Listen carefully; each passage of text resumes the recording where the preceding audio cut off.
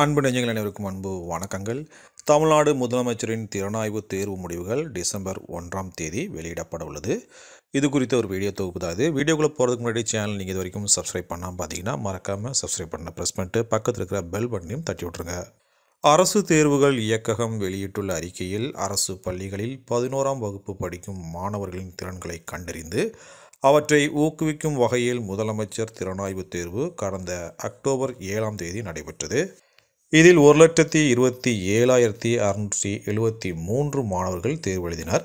தேர்வு எழுதியவர்களில் ஆயிரம் மாணவர்கள் ஐநூறு மாணவர் ஐநூறு மாணவியர் தேர்ந்தெடுக்கப்பட்டு இளநிலை பட்டப்படிப்பு வரை மாதம் ஆயிரம் ரூபாய் என ஒரு கல்வியாண்டில் பத்து மாதங்களுக்கு பத்தாயிரம் ரூபாய் வழங்கப்படும். இத்தேர்வு முடிவுகள் டிசம்பர் ஒன்றாம் தேதி காலை பதினோரு மணிக்கு DGE dot TN dot GOV dot IN இணையதளத்தில் வெளியிடப்படுகிறது.